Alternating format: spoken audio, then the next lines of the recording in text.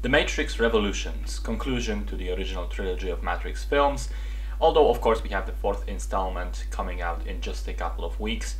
This one was filmed back to back with uh, the second part, Reloaded, and they were both released in the span of just a couple of months back in 2003. The story starts off pretty much exactly where Reloaded ended. Um, the situation is dire, most of the Zion fleet has been destroyed, machines are on their way to the city, Morpheus and the other two um, crews are stranded outside, awaiting a message from the Oracle. When it finally comes, Neo goes into the Matrix one more time to consult her, and then comes up with a plan to stop the war with the machines for good.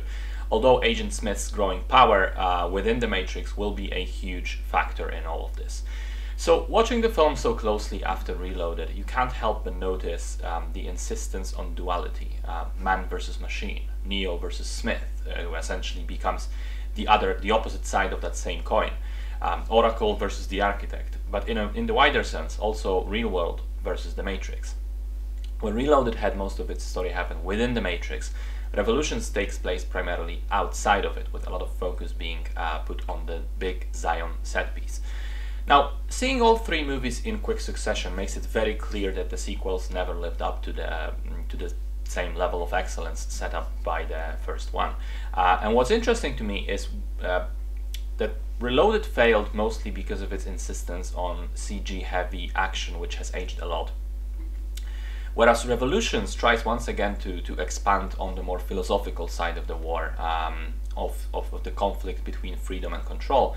But it's not very adept at doing that either. I felt that the movie begins to crumble under the weight of what it's trying to say. Um, I mean, there's no denying that this time around a significant portion of the, uh, let's say, philosophical dialogue is nonsense. And long, pretty words try to hide the fact that the ambition is getting the best of the Wachowskis, um, which has often been the case for their later films as well. I also felt that the climax of this movie, which is, of course, meant to be a climax of the whole trilogy, is underwhelming. Um, first off, the battle in Zion is very, very long, and while it is constructed quite cleverly, uh, it doesn't look very exciting because of the dull colors and uniform visual palette and characteristics of the location. By establishing the real world um, as this crumbling ruin, grey blue in color, washed off any warmth, the filmmakers sort of dug their own grave um, for the finale because when action starts to blow up, it's just a lot of explodey, shooty, messy stuff on screen, and it all looks largely the same.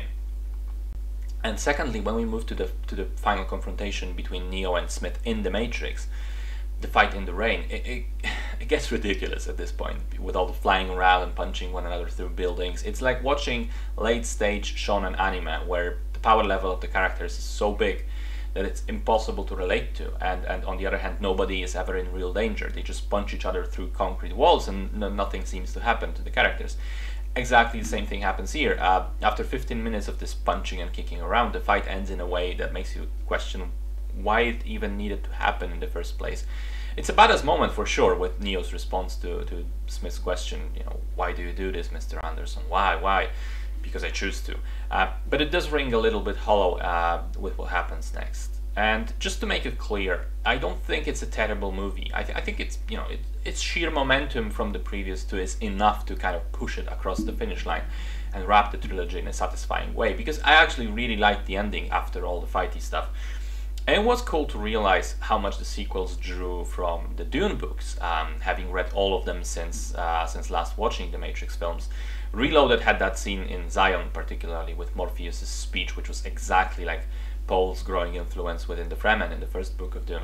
Uh, whereas Revolution has the hero getting blinded at one point and yet still managing to see in in a different way, which is essentially the main premise of, of Dune Messiah.